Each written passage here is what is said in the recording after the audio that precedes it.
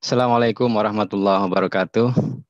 Yang saya hormati moderator dan seluruh narasumber serta seluruh peserta yang dirahmati oleh Allah Subhanahu wa taala.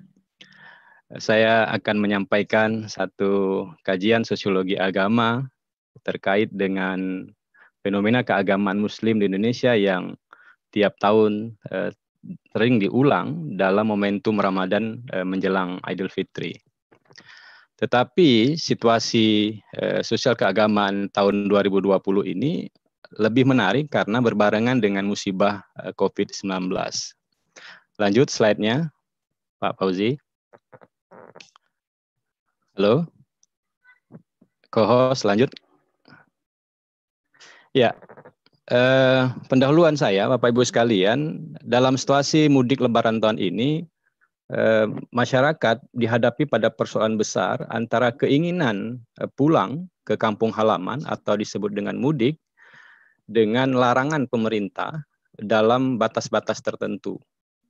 Sehingga masyarakat eh, melakukan perilaku dan ekspresi keinginan mudik lebaran itu dalam berbagai macam perilaku dan keragaman tingkah lakunya. Lanjut, slide berikutnya.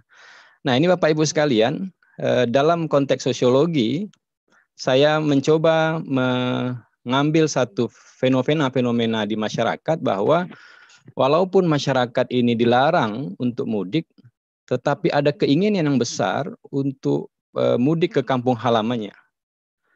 Bahkan kita lihat pada foto yang kiri bahwa ketika semua kendaraan dilarang dan dirazia untuk pulang, ada yang melakukan perilaku-perilaku yang unik. Misalnya eh, menaiki menaikkan kendaraannya kepada kendaraan-kendaraan publik untuk mengangkat, eh, mengangkut sembako dan seterusnya. Sehingga bagi saya yang sosiolog ini eh, sebenarnya sesungguhnya apa yang terjadi dengan masyarakat Indonesia hari ini di saat dorongan ingin pulang kampung halaman, tetapi pada sisi yang lain kuatnya dorongan itu dihadang karena persoalan COVID ini yang disinyalir atau bukti-bukti yang kuat bahwa itu bisa membahayakan orang lain dan sudah banyak korban yang uh, berjatuhan. Lanjut slide-nya. Ya, nah uh, ini yang saya lihat pada tahun-tahun sebelumnya ada 24 persen dari 220 juta penduduk Indonesia, sekitar 4,6 juta itu yang eh, dia harus eh, keinginan pulang kampung setiap tahunnya. Diprediksi tahun ini, sesungguhnya jika tidak ada COVID, angka ini juga mungkin bisa lebih. Nah, yang kedua, selalu dihadapkan bahwa pada saat ini ingin mudik, tetapi pemerintah eh, melarang atau mengatur mudik dengan sangat ketat. Nah, lanjut.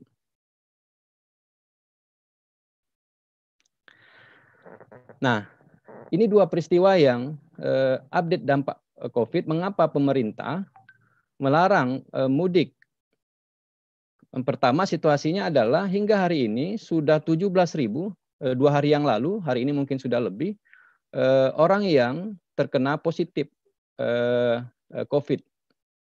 Nah ini kalau gambar ini menunjukkan bahwa orang karikatur ini yang menyinggung ataupun membuat satu ilustrasi bahwa sesungguhnya begini ruwetnya eh, masalah COVID ini. Nah, ini juga persoalan kemiskinan juga hari ini bertambah sebagaimana pemateri-pemateri sebelumnya bahwa orang sudah tidak peduli lagi dengan batas-batas sosial ketika eh, menyangkut persoalan ekonomi. Nah, lanjut. Ini yang saya ingin saya jelaskan dalam perspektif sosiologi. Mengapa masyarakat ngotot mudik dalam perspektif sosiologi, sesungguhnya masyarakat Indonesia itu adalah masyarakat yang komunal. Kemudian masyarakat yang memiliki tingkat kekerabatan tinggi dan yang terakhir memiliki tingkat solidaritas yang tinggi. Bandingkan dengan masyarakat-masyarakat di belahan dunia lain, Eropa misalnya, yang masyarakat individualistik. Nah, berbeda dengan masyarakat karakter Indonesia, memang masyarakat yang sangat kuat eh, kekerabatannya, sangat kuat solidaritasnya dan disebut dengan eh, kelompok-kelompok komunal ini. Nah, inilah dalam perspektif sosiologi mengapa eh, masyarakat kita walaupun dilarang di mana-mana dijaga oleh aparat kepolisian, tentara, eh, semuanya dikerahkan tetapi masih saja ingin uh, ngotot pulang, apa persoalannya yang dirasakan oleh mereka? Nah, sesungguhnya dalam praktik sosiologi, mereka merasa bahwa mereka memiliki kekerabatan yang sangat kuat dengan masyarakat di kampungnya. Lanjut slide-nya. Nah, ini penjelasan secara naratifnya bahwa menurut saya kekerabatan dan soliditas yang tinggi itu membuat orang e, sulit untuk tidak pulang. Nah, ada hukum-hukum sosial yang akan mereka rasakan ketika mereka tidak pulang kampung di saat eh, COVID-19 ini. Nah, pada umumnya eh, perantau itu pasti memiliki orang tua, pasti memiliki kerabat dan keluarga besar di tanah kelahirannya. Ini adalah satu satu ikatan psikologi yang tidak bisa di, dihilangkan, ikatan eh, darah yang tidak bisa dihilangkan. Ke mana pun kita pergi, ketika masih ada orang tua, masih ada karib kerabat di tanah kelahirannya, maka itu sulit uh, dilepaskan. Ke mana pun uh, orang berangkat, pasti dia akan uh, ingin pulang ke kampung halamannya, karena ada dorongan yang kuat ingin bertemu dengan orang tuanya, dan lain-lain. Lanjut. Lanjut slide-nya. Nah ini saya lihat ilustrasi saja, foto-foto lama bahwa sesungguhnya situasi ini yang diinginkan oleh masyarakat kota yang urban ini kalau dia pulang kampung, situasi ini yang tidak dia temukan di kota tempat dia bekerja. Dan dia akan temukan di kampung halamannya ketika dia pulang mudik. Nah, ini yang uh, diharapkan oleh uh, masyarakat. Lanjut. Nah, ada dua argumentasi yang saya uh, amati. Pertama argumentasi agama dan yang kedua argumentasi budaya. Terus, Fauzi lebih cepat sedikit. Waktunya sudah mau habis. Nah, argumentasi keagamaan bahwa teks-teks agama mengajarkan seseorang untuk selalu menjalin silaturahim dengan orang tua, dengan kerabat, dengan masyarakat, di mana pun dia berada. Dalam konteks ini bisa dipahami mengapa orang ingin pulang kampung, karena argumentasi keagamaan mengajarkan bahwa silaturahmi nggak boleh putus dengan orang tua. Dalam situasi apa pun, kita tetap harus mengabdi kepada orang tua. Maka ke mana pun kita pergi, selama orang tua masih ada atau sudah di alam barzah, tetap saja orang ingin mengunjungi dalam perilaku-perilaku yang berbeda silaturahminya. Lanjut. Nah, ini saling memaafkan. Foto-foto ini adalah situasi yang tidak ditemukan oleh masyarakat di kota.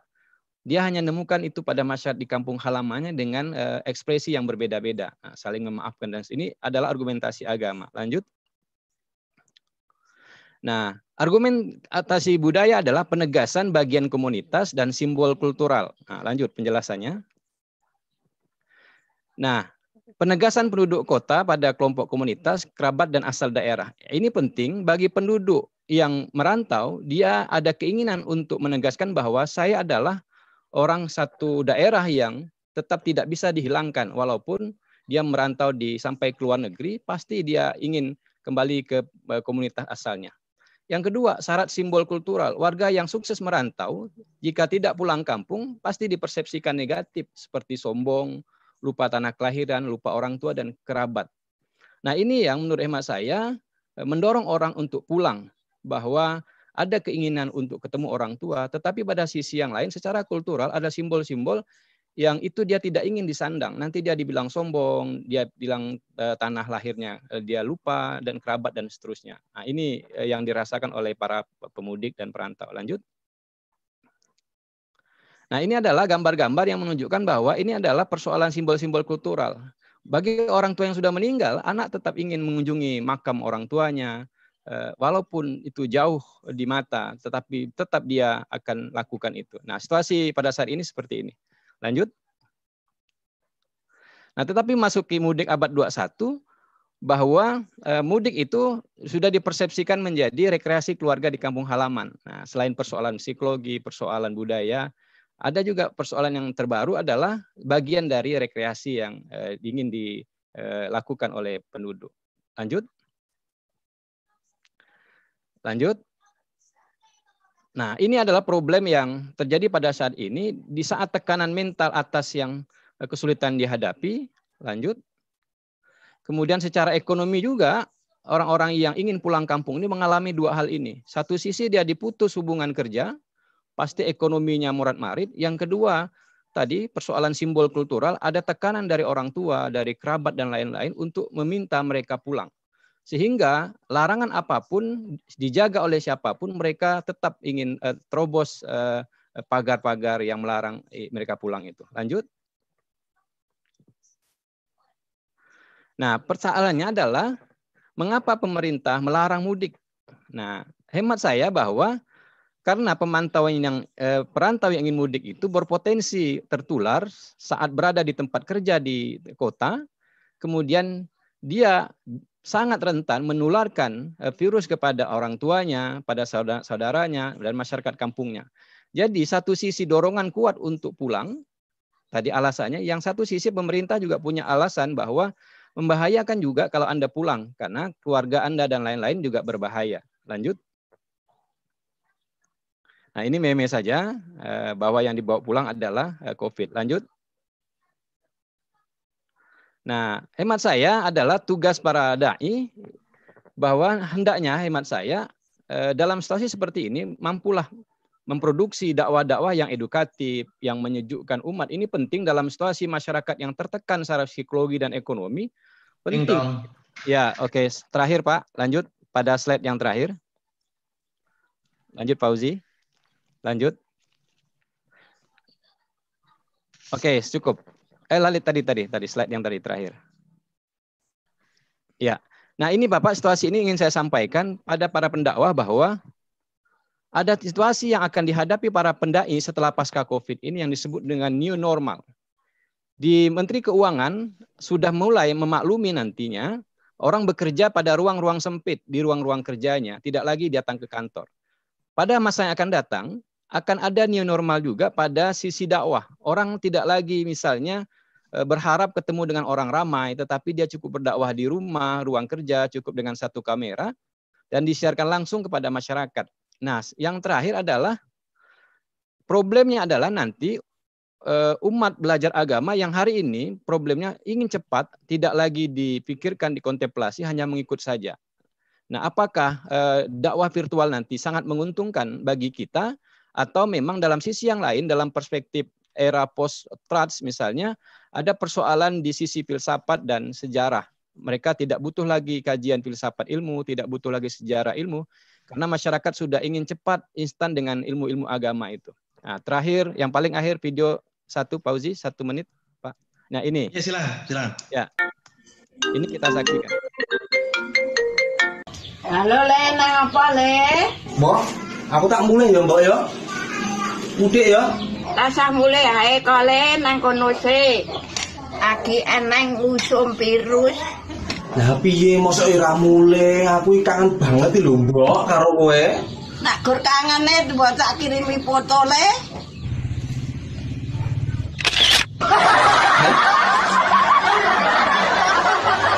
Iya Le, fotoku ayu ra. Ya jelas ayu to ya. Jane iki ora apa-apa ya Mbok. Awakku sehat lho. Aku iki masuk angin kowe ora bagas waras ngene kok. Kowe mulai malah bawa virus. Ora mesake mbokmu iki. Rasah mulai Le, penting duitnya mulai. Bapak moderator dan Bapak Ibu sekalian, eh, terima kasih itu yang bisa saya kontribusikan untuk forum dekan hari ini. Mudah-mudahan eh, eh, lebaran virtual dengan seperti yang eh, video pendek tadi itu bisa membantu masyarakat yang sedang tertekan karena ekonomi dan pulang kampung bisa bersilaturahmi secara virtual dengan orang tuanya dan kerabatnya di kampung halaman. Terima kasih. Wassalamualaikum warahmatullahi wabarakatuh. Waalaikumsalam warahmatullahi wabarakatuh.